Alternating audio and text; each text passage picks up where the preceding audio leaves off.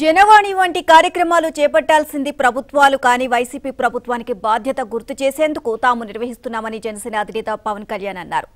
గ్రామాల్లో వేలాది మంది ఉన్నా పాతిక మంది రౌడీలను చూస్తే భయపడతారని వారికి ధైర్యం నూరుపోసేందుకే తాను వచ్చినట్లు తెలియజేశారు. సంపూర్ణ దహనానికి సిద్ధపడితేనే జనవాణి వంటి కార్యక్రమాలు చేపట్టవచ్చని అందుకు తాను సిద్ధంగా ఉన్నట్లు పవన్ తెలియజేశారు.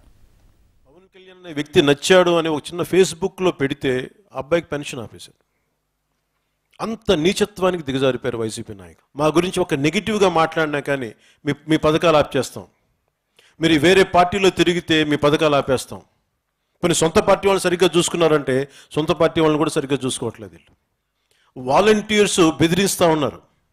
వాలంటీర్ వ్యవస్థ సరిగ్గా లేకపోతే ఒక మాఫియా వ్యవస్థలా తయారైపోయే పరిస్థితిలో ఉంది. వీళ్ళందరూ తిప్పి కొడితే ఒక గ్రామంలో కానీ ఒక మండలంలో కానీ ఒక నియోజకవర్గం రాష్ట్ర స్థాయిలో కూడా ఈ పిరికితనానికి నిండిపోయిన సమాజానికి ధైర్యం ఇంజెక్ట్ చేయాలి. ధైర్యం ఇంజెక్ట్ చేయాలంటే ముందు ఒకడు సంపూర్ణంగా కాలిపోవడానికి సంసిద్ధుడై ఉండాలి. నేను సంపూర్ణంగా కాలిపోవడానికి వచ్చాను. ఇప్పుడు గవర్నమెంట్ అనేది కంటిన్యూటీ ఆఫ్ పాలసీ ఓకే మీరు గతంలో మీరు ఆ ప్రభుత్వంలో చంద్రన్న బీమా పథకం ఉంటే మీరు వైఎస్ఆర్ బీమా పథకం ఇంకో బీమా పథకం పేరు పెట్టుకుంటే పాలసీ పేరు మారుద్ది కానీ పాలసీ కంటిన్యూటీ కంటిన్యూ అవుతూనే ఉండాలి. ఈ రోజున మొత్తం బీమా పథకాన్ని అసలు ముందు పనిచేయట్లేదు. గతంలో ఇవేమీ లేకుండా ఒక గవర్నమెంట్ ఇన్సూరెన్స్ కంపెనీకి ఇచ్చేసేవాళ్ళు. ఈ రోజున మళ్ళీ మధ్యవర్తిని పెట్టి దానికి సంబంధించి మరి ఏం జరుగుతుందో తెలియదు కానీ అవసరం లేని ఒక మధ్యవర్తిని పెట్టి ఆ ఫండ్ ఎటు వెళ్ళిపోతుందో వీళ్ళకైతే న్యాయం జరగట్లేదు పరిహారం రావట్లేదు. కనీసం వాళ్ళకి రావాల్సిన పరిహారం కూడా మీరు ప్రయత్నం చేయకపోతే ఎట్లా? ఏదన్నా మాట్లాడితే ఒక్కొక్కరు కూర్చోబెట్టి పూనకాలు వచ్చినట్టుగా ఊగిపోతూ బూతులు మాట్లాడతారు తప్ప లేదంటే కేసు సంపదని విచిత్రంగా చాలా వాడతారు మాకు చాలా కేసు సంపదను. అలా పీకోకుండా మళ్ళీ కేసు సంపద ఉన్నది మొత్తం పోతుంది కేసులు చాలా అరుదు జాగ్రత్త. వయసు వచ్చే కొద్ది ఊడిపోతూ ఉంటాయి అందుకని ఎక్కువ కేసులు వాళ్ళు తెంపేసుకోకుండా కొంచెం జాగ్రత్తగా ఉంచుకోండి.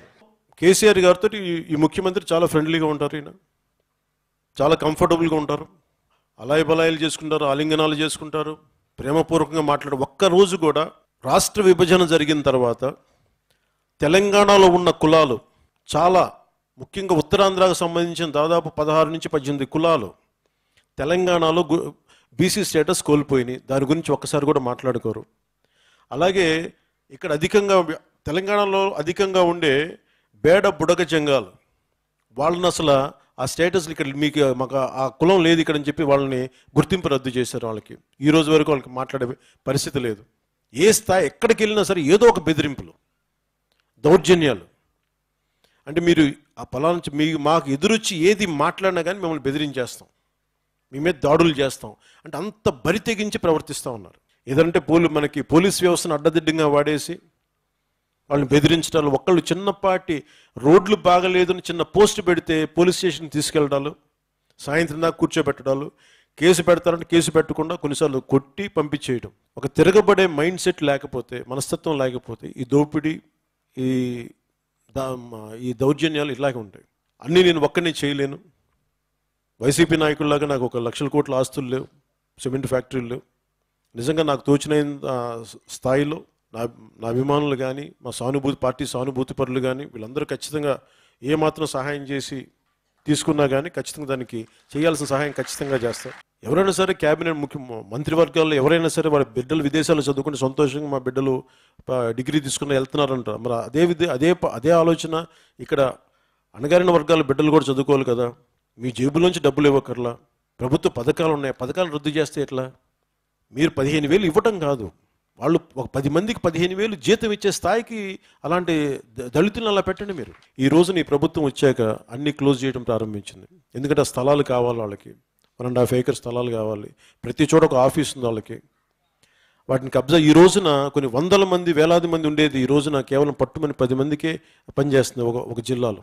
వారికి ఎవరు వెళ్ళినా వారి మీద చిన్నపాటి విమర్శ చేసినా వాళ్ళందరికీ ఎందుకు కౌరవులుగా కనిపిస్తారంట వాళ్ళకి. అసలు కౌరవులు అనేవాళ్ళు ఎవరంటే కౌరవులు ఎప్పుడు రాజ్యాధికారం కోల్పోలా కౌరవులు రాజ్యాధికారం ఉండి పాండవులకు రాజ్యాధికారం లేకుండా చేశారు నూట యాభై ఒక్క మంది ఎమ్మెల్యేలు లక్ష కోట్ల ఆస్తి ఒక లక్ష కోట్ల ఆస్తి చాలా సొంత చిన్నాయన్ని చంపేసిన కత్తి కొడికత్తి పొడిపించుకుని ఇలాంటి సంఘటనలు ఇవన్నీ పెట్టుకొని వాళ్ళు దౌర్జన్యాలు చేసి వాళ్ళు దాడులు చేసి వాళ్ళు బాధపడతాం చూడండి మమ్మల్ని ఎలా కొట్టేస్తాం చూడండి. మేము ఎంత మంచి ఎవరు నమ్ముతాడు ఈ కథలన్నీ? అంబేద్కర్ గారి పేరు పెడితే జనసేన ఎందుకు దానికి ఒప్పుకుందని అనుకుంటున్నారు? నేను అడుగుతుంది మొదటి నుంచి కూడా ఈ రోజుకి మీరు చూడండి కోనసీమలో వాళ్ళ సొంత మంత్రి విశ్వరూప్ గారి ఇండ్లని ద తగలబెట్టేస్తే ఈ రోజుకి ఆ ముఖ్యమంత్రి ఒక్క ఒక్కసారి కూడా దాన్ని ఖండించలే. ఒక్కసారి కూడా వెళ్ళి చూడలే. స్వయాన ఉన్నత పోలీస్ శాఖ అధికారి కూడా చాలా రోజుల తర్వాత వెళ్ళారు.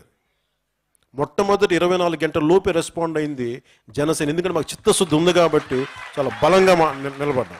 వైసీపీ తాలూకు దాష్టీకాన్ని తట్టుకోవడానికి జనసేనకి చాలా గుండె బలం ఉంది. జనసేనని అడుగుపెట్టనే అసెంబ్లీలో అంటే మీరు దిగొచ్చారంట? మిమ్మల్ని అడుగు పెట్టనివ్వకుండా ఉంటాను. ఈ దౌర్జన్యాల్ని ఎదుర్కోవాలి ఆపాలి అంటే ప్రతి ఒక్కరు కొంత తెగించకపోతే మార్పు రాదు. పవన్ కళ్యాణ్ ఒక్కటి తెగిస్తే సరిపోదు. ప్రతి గ్రామంలో ప్రతి గ్రామంలో ఆడవారు మగవారు అని లేకుండా ఒక కామన్ మినిమం ప్రోగ్రాం కింద మీకు నచ్చని మీకు ఏ పథకాలు అయితే నచ్చలేదు వాటికి సంబంధించి మీరందరూ ఒక- ఒక గొడుగు కింద వచ్చి ఉమ్మడిగా పోరాటం చేయకపోతే కలిసి పో- పోటీ చేస్తారో నాకు తెలియదు కానీ ఉమ్మడిగా పోరాటం చేయకపోతే